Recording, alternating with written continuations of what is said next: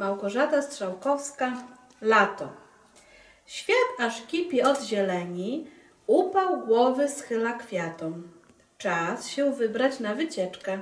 Przewodnikiem będzie lato. Witam, witam Was serdecznie i zapraszam do zwiedzania. Spójrzcie w lewo, spójrzcie w prawo, tyle jest do oglądania.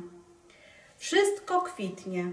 Lipy, róże, maki, habry, koniczyny, groszki, malwy i nasturcje, idzie wanny i łubiny. Wokół kwiatów chmara pszczółek, pracowicie się ugania. Jeszcze trochę i nadejdzie słodka pora miodobrania. Owocami pachną lasy, pola, sady i ogrody. Tu truskawki i porzeczki, tam poziomki i jagody. Agrest, wiśnie i brzoskwinie, i czereśnie, i maliny, pierwsze jabłka, gruszki, śliwki i morele, i jeżyny.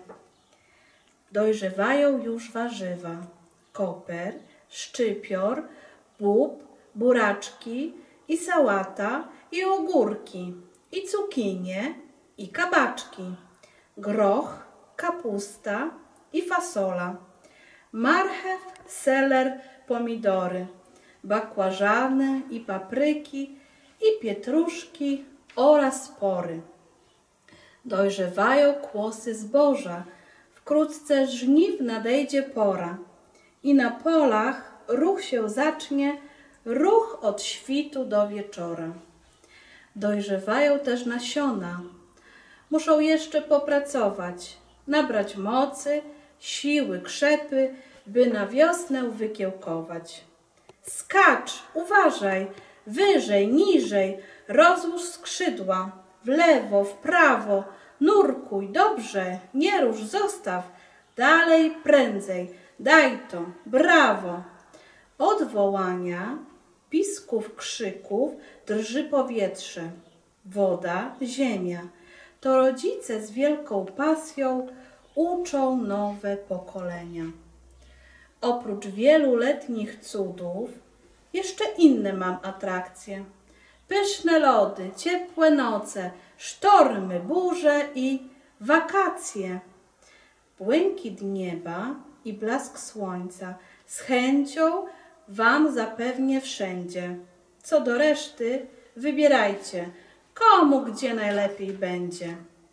Może, może wybierzecie i muszelki, i bursztyny, ciepły piasek, słone fale, i meduzy, i morszczyny. Wszyscy pięknie się opalą i wygrzeją, i odpoczną, choć przyznaję, że nad morzem w lecie jest zazwyczaj tłoczno. I jeziora także nęcą, i wyprawy w dal żaglówką lub pontonem, lub kajakiem, łódką albo motorówką.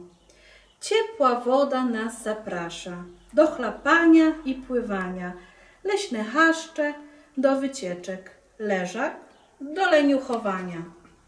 A kto w góry się wybiera, po wrażenia i widoki, ten nasapie się troszeczkę, zanim wejdzie nad obłoki.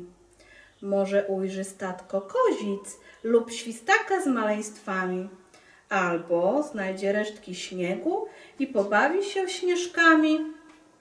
Ale późno się zrobiło, a ja muszę podlać róże na balkonie u sąsiada, bo wyjechał gdzieś na dłużej. Życzę Wam na pożegnanie, byście korzystali z lata, zanim przyjdą deszcze, chłody i jesienna szara chlapa.